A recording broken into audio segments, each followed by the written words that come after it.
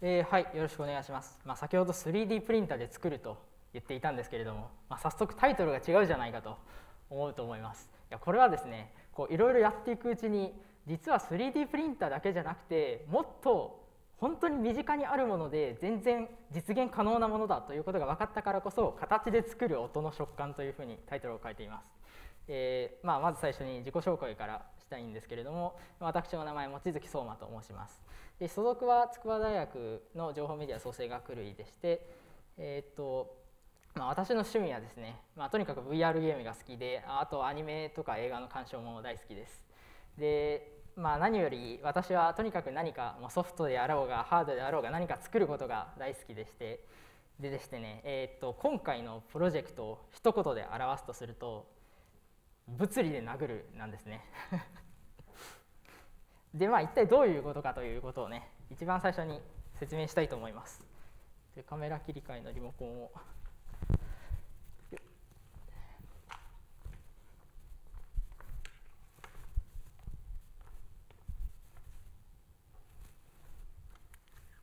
少々お待ちください。なんか。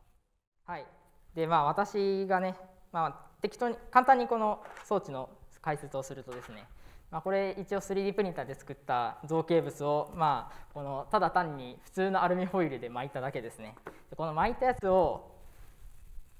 まあ、このプラス極につないであげると。でここに、えー、とスピーカーが大量に並んでるんですけど、まあ、実はこれこう後ろから押すとこうボコボコボコっと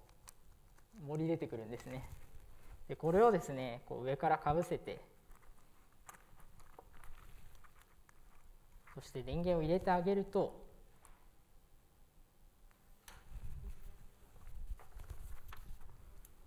例えばこれこれ紙ただのプリントした紙なんですけれども、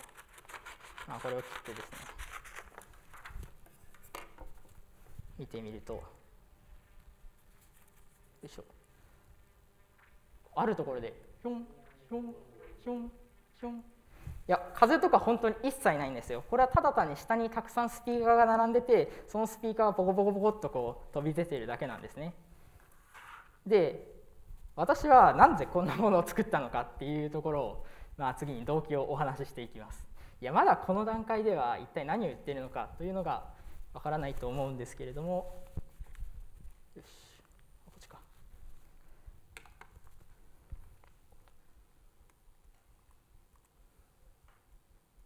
はいでですね、まあ、そもそもこんなものを作り始めた動機としては私は VR が大好きででまあほとんど視覚と聴覚だけっていうところにどこがリアリティなんだよっていうところという気持ちを抱いてでバーチャルなものに触れたいよねというもう本当にそれだけの思いで、まあ、高校生の時から、まあ、これとはまた別の研究をしてたんですけどでそれでそのバーチャルなものに触りたいと思った時にグローブをつけて触るのは違うなと思ったんですよ。素手で触りたいもうこの歯からもらったこの体でバーチャルなものを触りたいと思ったわけですね。で高校の時の私は一体何をしたかというとこの音響放射圧と呼ばれている、えーとまあ、音が物体を押す力を利用して、えー、と何も触何も触らずに触った感触を提示するっていう、まあ、文面だけ見るとすごく矛盾したことを言ってるんですけれども、えーとまあ、この音響放射圧っていうのは、まあ、皆さんが私の声を聞いているのはその振動音が鼓膜に当たって鼓膜が振動してるからなんですけれどもこの振動のエネルギーじゃないんですよ本当に音が持っている物体を押すというエネルギーが音響放射圧なんですね。まあ、ですが、えっと、日常生活で例えば私が喋っていて皆さんを吹き飛ばしたりしないことがあの証明している通り非常に微弱な力だということがわかると思います。でこれを、まあ、このこれを利用するためにはですね音のエネルギーをある一点に集めてでそれでこう手とかにぶち当てるとなんか手がおなんか押されてるぞっていうふうに分かるわけですね。でこれをするためにはフェーズドアレイということを行う必要があって、まあ、一体何をしてるのかというとめちゃくちゃ簡単にざっくり言うと、まあ、例えばこの音の焦点ここに音を集めたいと音のエネルギーを集めたいとすると,、えー、と従来の方法ではこのスピーカーをたくさん並べてでスピーカー一つ一つの音を出すタイミングっていうのをちょっとずつ変えるんですね。でもこのちょっとずつ変えるっていうのがマイクロ秒とかナノ秒とかなんですよでしかもそれを例えば100個スピーカーが並んでたら100個同時にマイクロ秒ナノ秒の単位で制御しないといけないし1000個並んでたらその分しないといけないっていうことで、まあ、すごい膨大な並列演算資源が必要だしまあ、私が実際に高校の時自作した時は、えっと、これ今ブレッドボード上に72個のスピーカーが並んでるんですけれども、まあ、こんな地獄絵図が生まれるとでそして他にもなんか公開されている、まあ、オープンソースの装置の基板とか見てみるとこれはまだ部品が全部実装されてない写真なんですけれどもなんかもうすごい大量に部品が並んでるの分かりますよね。でこれはなぜかというとスピーカー一つ一つに流す電流電圧を増幅しないといけないのでスピーカーが1000個あったら1000個アンプを用意しないといけないんですよ。なんてことだということなんですね。で市販されてる商品を見てみるとですね見てくださいこの価格52万8000円うん高いうん高いまあそういうことで、えっとまあ、学習導入コストが高すぎるというふうに考えたわけですよ。でこんなまあ、非接触とメタバースの時代に面白装置で手軽に遊べないのはけしからんということでだったら自分自身で新たな手法をまあ提案作成して布教してやろうというのが、まあ、未踏でのこの取り組みなんですね。でまあこの未踏での取り組みを簡単に説明するために、えーと、と私は3段階に分けて説明しようと思います。まあ、まず最初に発案から、えーと私はどういうアイデアでこの課題を乗り越えたのかという話なんですけれどもえっとまあ、そもそも音を集めるって何なのかって話なんですけどこれはまあ位相の知識が必要になってきます。でこの位相の知識をより簡単に説明するとですね、まあ、音を集めるモデルとして一番簡単なのはスピーカーを球面上にこういうふうに並べてあげて音を出すんですよ。でなぜ集まるかというとこの図で言うとこの音の波と波波の線と線がちょうど交わり合っているところが集まるんですけど、まあ、こういうふうに音が集まってるわけですよ。でこのままだと見にくいので、まあ、もうちょっとこうこここのスピーカーとこのスピーカーだけ見るとしましょう。でそうするとまあここが交わり合ってると。でこれをですねよく見てみるとそのこの線と線が交わり合っているところが音が強め合うところなんですね。つまりこの1個オレンジの1個上のこの青色の点線これをここにもこの赤色のところに持ってきてもまだ音は集まるということでこういうふうにスピーカーを配置しても音は集まるわけですよ。あじゃあこれをこれをですねスピあの音って斜めにも飛んでいくんでスピーカーをこう真正面に向けてでこう上下にボコボコボコっとしたらあれ？これって音集まるんじゃない？そしてさらにこの下になんかオードスケージを持った板を置いておいたらなんかそれだけで音って集められるよねっていうふうに思ったわけです。でですねこれができると一体何がいいかというと,、えー、と先ほど、えー、と一つなんかよくわからない形状を持っていた板でなんか音を集めてこう紙がピロピロピロっと動くのを見せたと思うんですけれどそれだけじゃなくて音を集める以外にも板を取り替えるだけで好きなフェーズアレイを作り出すことができるししかも今流れている動画のように板をこう左右に動かすことができるように設計すれば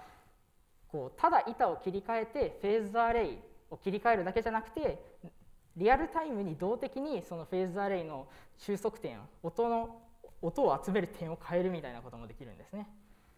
でしかもこれは形さえ作れれば誰でもフェーズアレイができるっていう素晴らしい汎用性を秘めていると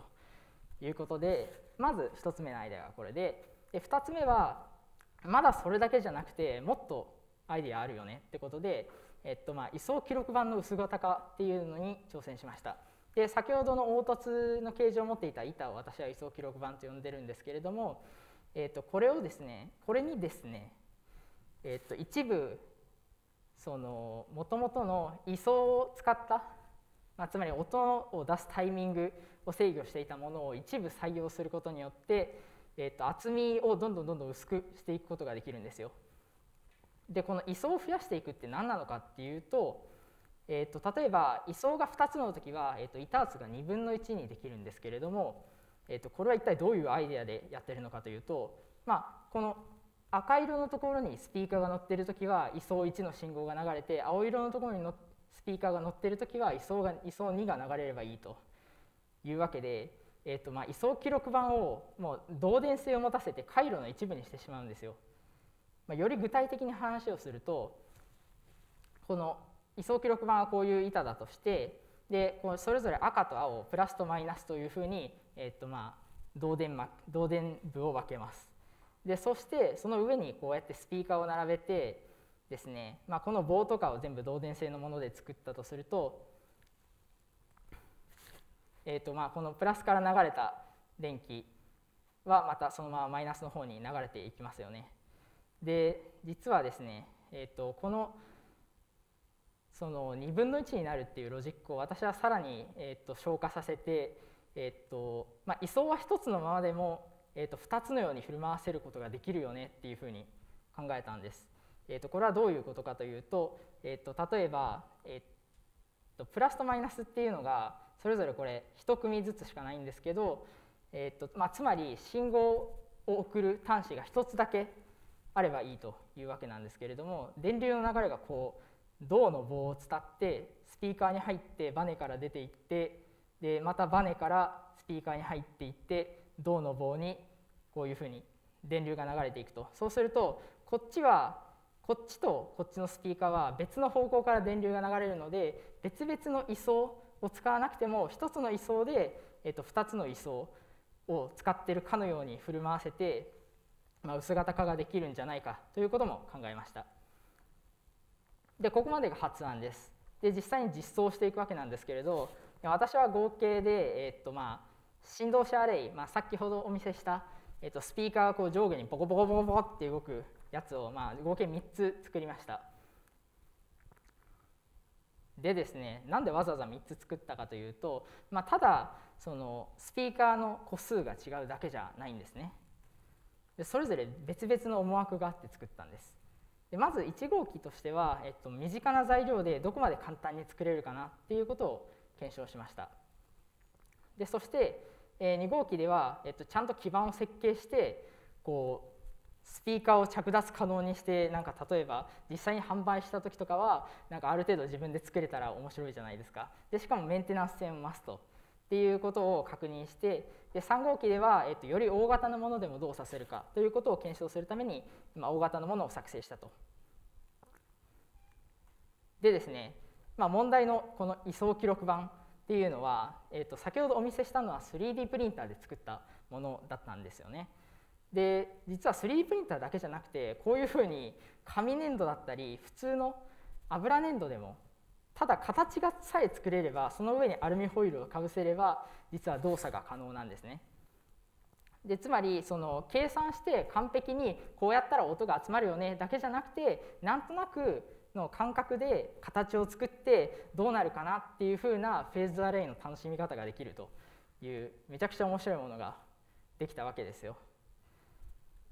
でまあ実際にどういうふうに動作するかっていうのを見てほしいんですけれども験者の方よろしくお願いします。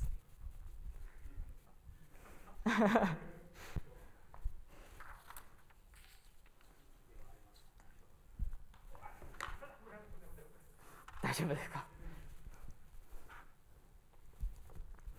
はい。ではですね、はい、よし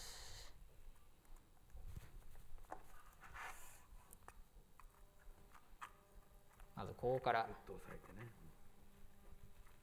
この辺りになんかもやもやっとした、うんうん、あそうだマイクだね。マイクマイク。ちょっと。届かない。そうですね。どうですか？どんな感じがしますか、うん、なんかあのね手の周りを蚊が飛んでる。蚊が飛んでるいや実はあのめちゃくちゃ出力が強いやつもあったんですけどそれはなんかこうあるなんか手に当た当たるとなんか出力が強すぎてちょっとあ熱さを感じたりしたので、まあ、それはやめたんですけど、えっとですね例えばあそうだ。カメラを切り替えていなかったですね。今気がつきました。でですねこれは友人が作っ適当に作ってくれたやつなんですけど、うん、実はこれでも音が集まるんですよで、まあ、この装置のいいところはですねおっとっと、まあ、こういう形を作ったとしてこういうふうにアルミホイルを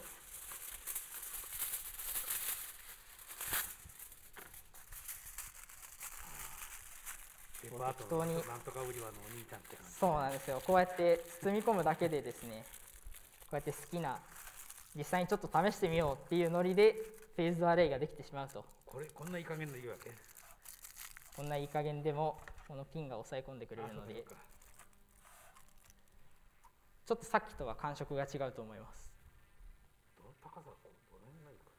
いや多分友人が適当に作ったやつなのでめちゃくちゃ面白いフェーズドアレイになってると思います。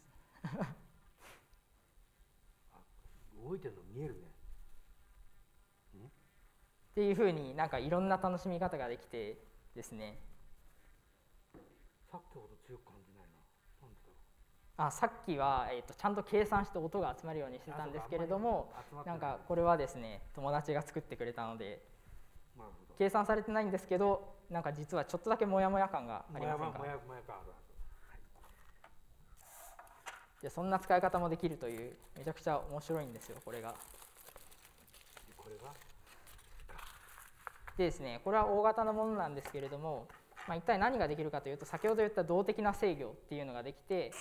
まあ、これを差し込んでこう左右に動かすことができると、まあ、例えば今回のデモではえっ、ー、とまあ、これは音の音を飛ばす方向を変えられるんですけれどもこうやってですね端子をつないで、まあ、端子はもうこの2つだけで、まあ、プラスとマイナスだけで動作するので、例えば音楽を流しましょう。そうか音楽ねえっ、ー、とでですね、えっ、ー、とあちらに立ってほしくて。こちらに？はい。で今音楽がこういや手はかざさなくて大丈夫です。これ今音楽を聴く感じなんですけど音がこう今飛んでってるんですよ、うんうん、でこれを、えーと、回転させるだけであ飛ぶ方向違うね。そうです。ちょっと小さくなりましたよね音が、うん。うん、っていうふうに音の領域をこういうふうに変えたりとかそう言って遊ぶこともできます。っていうなんかこんなしょうもない遊びをするためだけにもあの前はあ今までは本当になんかこう FPGA だったりすごい大変なシステムが必要だったわけですよ。なるほど。はい、はい、ありがとうございました。なるほどなるほど。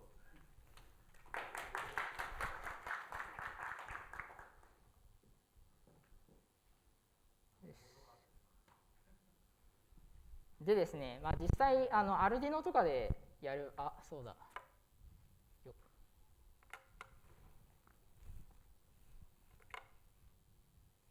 切り替わりませんね。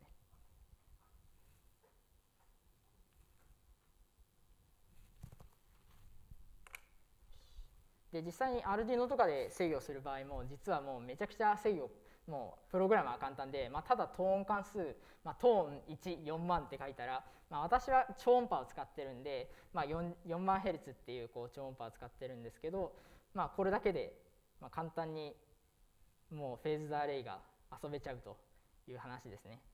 でまあこれは実際に友達とこう互いに形をつくその位相の形を作り合って、まあ、ある意味位相バトルみたいなことをして ですねこれはどんな触覚が出るかみたいな体験あの体験会というか遊びをしたりですね、まあ、これはあの先ほどお見せしたこうように、まあ、ともこれはですね、えっと、友達のスマホにこうオーディオプラグを挿してで あの、まあ、ちょちょっと原理は複雑なんですけれども、えっと、音を、まあ、肌で聞いてるんですよ。まあ、先ほどあの体験してもらった触覚の応用で、まあ、音楽を、まあ、触覚として、まあ、空気を通じて鼓膜で音を聞くんじゃなくて肌で音を聞くっていうふうな遊びとかをしています。っていうようにですね、まあ、まとめると私は時空間を用いて、まあ、計算機を、まあ、とりあえず代替してそうこういうシステム、まあ、すごい簡便にフェーズドアレイを実現するシステムを作ることができたので、まあ、結果として、まあ、最初の表題では 3D プリンターで作る音の食感ってだけだったんですけれども形で作る音の食感もできますし空間も作れましたしさらに先ほどお見せしたなんかこう紙を吹き飛ばすといった、まあ、力だったり、まあ、そういうものも表現できるよというものを作ったわけですね。でまあ、今後はこう CAD のアドオンなどを公開して、まあ、より簡単に計算して音が集まるだったり計算して音を好きな方向に飛ばしたりとかいうことをしようと思っています。他にもちょっといろいろやりたいことはたくさんあるんですけれどもまあまあまあこれからどんどんいろいろやっていこうかなと思っている所存です。ご清聴ありがとうございました。